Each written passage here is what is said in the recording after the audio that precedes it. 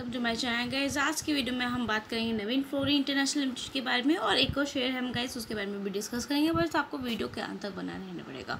Guys देखिए, आप लोगों को पता है कि मार्केट आज के दिन काफ़ी ज़्यादा मतलब हमें पॉजिटिव वे में देखने को मिला बुलिश वे ट्रेंड में जाता हुआ देखने को मिला। मतलब कुछ स्टॉक्स थी जो काफ़ी ज़्यादा, इसके अंदर आप कह सकते हो काफ़ी बुलिश देखने को मिले। गाइस सबसे पहले तो हमारा जो गेनर पॉइंट जो रहा, जिसकी वजह से हमें मार्केट ना बुलिश देखने को मिला। तो गाइस वो जो हमारे एचडीएफसी बैंक था और हमारा रिलायंस था आई बैंक मतलब ये मोस्ट एक्टिव स्टॉक ऐसे रहे, जिसके अंदर मतलब इतना इतना आप कह सकते हो कि हमें इतनी तेज़ी देखने को मिली। लेकिन साथ के साथ अगर मैं बात करूँ ना, कि टॉप गेनर जो रहे हैं, वो रहे हैं हमारे हिंडालको हो गया N T P C Hero Moto और डॉक्टर रेडी लैब और देविस लैब सो गई इसकी वजह से मार्केट आज के दिन पॉजिटिव देखने को मिला था और नियर अबाउट उन्नीस तक ये पहुँचा एंड इसके अंदर एक सौ चौदह पॉइंट्स तक की तेज़ी देखने को मिली। अब बात आती है गाइज़ हमारे नवीन फ्लोरिन पे। तो नवीन फ्लोरिन पे आज के दिन इतनी बड़ी गिरावट कैसे देखने को मिली? मतलब आपको पता है, साढ़े तेरह परसेंट की गिरावट, लेकिन मॉर्निंग तक सत्रह परसेंट की गिरावट देखने को मिल रही थी। गैस देखिए इसके अंदर जो इनके एमडी है ना, राधेश, आर वेलिंग, उन्होंने अपना रिज़ाइन दे दिया। ये पिछले दो महीने से ही कंपनी से मतलब आप कह सकते हो दूसरा टॉप लेवल एग्जीक्यूटिव जो गया है इस कंपनी से एंड एमडी के जाने से सेंटीमेंट बिगड़ा है।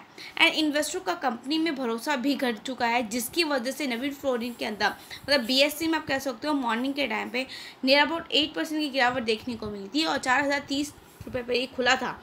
एंड पिछले ही बाद पिछले ही गए जब से मतलब बंद हुआ मतलब सत्ता परसेंट की गिरावट के साथ बावन वीक का मतलब बिल्कुल ही लो लेवल जो सैंतीस सौ उनतीस रुपये पर ये नियर अबाउट आ गया था।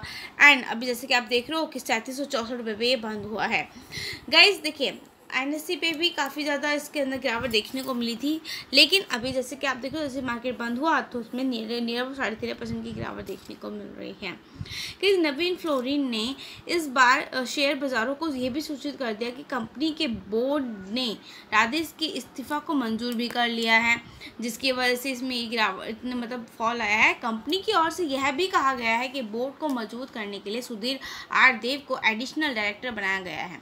इससे पहले 18 अगस्त को रवि वेंकट वेंकट रमन ने नवीन फ्लोरिन के सीईओ पद से रिज़ाइन दे दिया था एंड इसके बाद कंपनी ने राजेंद्र साहू के को सीईओ बनाया था। अगर 2022 में गए, इस कंपनी के तत्कालीन जो सीएफओ हैं, बसंत कुमार बंसल ने एक साल के अंदर इस्तीफ़ा दे दिया था एंड उससे पहले भी गई केतन सब लोग ने भी इस्तीफ़ा मतलब कितने सारे लोगों ने इस कंपनी से मतलब रिज़ाइन दिया, जिसकी वजह से आप कह सकते हो कि काफ़ी मतलब पब्लिक का भरोसा यार घट ही जाता है ना। देखिए, जून क्वार्टर में भी नवीन फ्लोरिन को इकसठ करोड़ रुपए का नेट प्रॉफिट दर्ज किया गया था एंड वही पिछले साल के मुकाबले अगर हम बात करें तो सत्रह परसेंट हमें कम देखने को मिला था क्योंकि चौहत्तर करोड़ रुपए पहले था। एस रिवेन्यू भी तीन सौ मतलब three hundred ninety seven three hundred ninety seven crore रुपये का था, जो कि मतलब पिछले साल अगर बात करें तो चार सौ इक्यानवे करोड़ का था, ठीक है? उस एंड उसमें भी थोड़ी बहुत हमें बढ़कर ही नज़र आया था। गई लेकिन नवीन फ्लोरनी का जो कारोबार है, ब्रिटेन और भारत में फैला हुआ है। कंपनी लगभग पचास साल से ऑपरेशनल काम कर रही है एंड इसकी चार जो मेन स्ट्रेटेजिक बिज़नेस यूनिट है ना, वो refrigeration gases in inorganic fluorides and specialist fluorides and contract research and manufacturing services पे हैं। सो so गाइज़ अगर मैं बात करूँ वन मंथ की तो वन मंथ पे आप देख सकते हो नियर अबाउट साढ़े अठारह परसेंट की गिरावट देखने को मिल रही है इसके अंदर। एंड अगर आप देखोगे ना कि अगर पाँच साल का डाटा हम देखिए लेकिन साढ़े चार सौ परसेंट तक का मतलब नियर आप कहते हो तो पाँच सौ परसेंट तक का इसने रिटर्न दिया है। एंड साल भर में देखिए पाँच हज़ार परसेंट तक का मतलब साढ़े पचपन सौ परसेंट तक का रिटर्न दे चुकी है ये कंपनी तो वैसे तो ऑल ओवर देखा जाए तो काफ़ी अच्छी देखने को न, इसका जो चार्ट है अच्छा देखने को मिलता है लेकिन जिसकी वजह से अभी जो हाल फ़िलहाल में गिरावट आ रही है, जिस तरीके से इनके एमडी जो तो मेन लोग तो अगर चेंज करते जाएँगे तो कहीं थोड़ा तो कंपनी में भरोसा डगमगाएगा ना। अब देखिए बात करते हैं हम हिंदुस्तान जिंक की। हिंदुस्तान जिंक में नियर अबाउट साढ़े तेरह, साढ़े तीन परसेंट की तेज़ी देखने को मिली। गई देखिए, हिंदुस्तान जिंक, आपको बताया जो ये बोर्ड कॉर्पोरेटर रिस्ट्रक्चर वाली कंपनी है, उन्होंने रिस्ट्रक्चर पर दोबारा से रिस्ट्रक्चर पर मतलब विचार किया है, इस पर फैसला किया है, जिसकी वजह से आज के दिन इसके अंदर नियर अबाउट छः परसेंट तक की उछला था, लेकिन अभी बाज़ार बंद होते होते साढ़े तीन परसेंट की तेज़ी देखने को मिली। गई बोर्ड ने ग्रोथ की नई संभावनाओं की तलाश के लिए कॉरपोरेट रिस्ट्रक्चर पर विचार करने का फैसला किया है। एंड इस कॉरपोरेट रिस्ट्रक्चर के के कारण ही कंपनी अपने जिंक, लेड, सिल्वर और रिसाइकलिंग बिज़नेस की अगल, अलग कर नई कंपनी बनाने पर भी विचार कर रही है। एंड उसी के साथ साथ गए अगर मैं बात करूँ इस खबर के बाद तो गई देखिए, अब इस खबर के बाद से ही इसमें इतना उछाल देखने को मिला। एंड काउंटर पे वॉल्यूम भी बड़ा बड़ा मतलब बढ़ना शुरू हो गया था।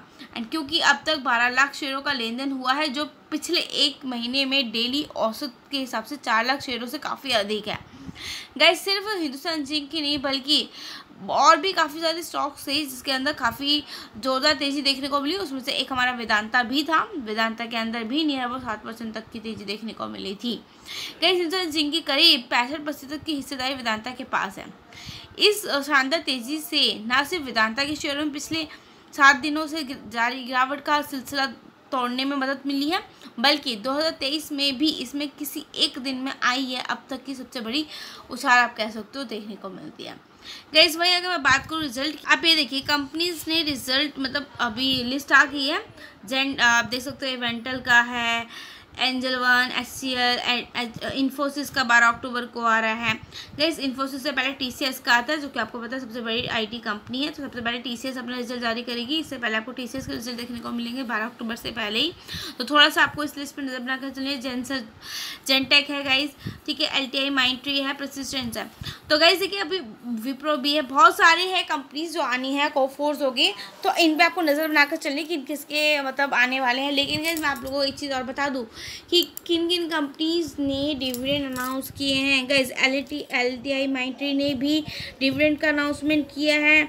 एशियन पेंट ने भी डिविडेंड का अनाउंसमेंट किया है।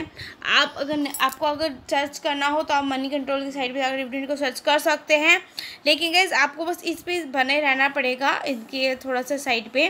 ठीक है, देखते चलना पड़ेगा। इन इन कंपनीज़ ने डिविडेंड अलाउ करे डिविडेंड अनाउंस सॉरी करे हैं। हमारा एंजल वन भी हो गया डिविडेंड अनाउंस करने वाला। एशियन पेंट हो गया, एल एंड माइंट्री भी हो गया, ठीक है? तो इन सब पे आप अपने रिज़र्व बनाकर चलिए नो डाउट आपको और फिर उसके अकॉर्डिंगली आप इसमें इन्वेस्ट करके भी चल सकते हो और अगर आपने इन्वेस्टमेंट कर रखी है तो रिज़ल्ट पे भी रिज़ल्ट को भी अपने नज़र लेवल पर रखकर चलें, क्योंकि जैसे रिज़ल्ट आएँगे, वैसे ही आपको प्रॉफिट होगा, ठीक है? उसके साथ साथ नवीन फ्लोरिन हो गया, और आपका ये हिंदुस्तान जिंक हो गया, अगर पोजीशन है तो आप थोड़ा सा नवीन फ्लोरिन वाले स्टॉक में सोचें और हाँ हिंदुस्तान जिंक का तो उसके अंदर थोड़ा सा आप विचार करें, उसके फंडामेंटली उसकी न्यूज़ पे भी खबर रखें। सॉरी नज़र रखें। सो so गाइज़ मिलेंगे नेक्स्ट वीडियो में। चैनल पर नए हैं तो लाइक सब्सक्राइब करना मत बोले बाय गाइज़ थैंक यू